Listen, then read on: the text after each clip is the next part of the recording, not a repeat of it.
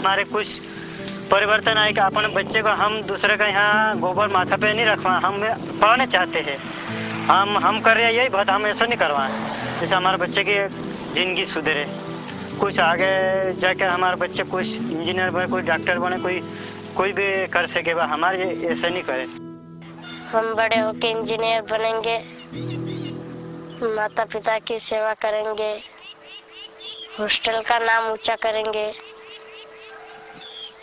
और गाँव में गरीब बच्चों के लिए स्कूल छात्रावास ऐसे रहने के लिए बनाएँगे। बहुत अच्छा लगे, खुशी हुई बहुत। हम विश्वास करते हैं कि स्वामी जी है, हमारे बच्चे के कोई नहीं है। हमारा पढ़ेगा इनका बहुत सुधरेगा। हमारे तो कुछ सुधर गई है। हम कर रहे हैं लोग का यहाँ गुलामी। वही बहुत, तुम मत करो बेटा, हमारा यही करना फ़र्ज़ है।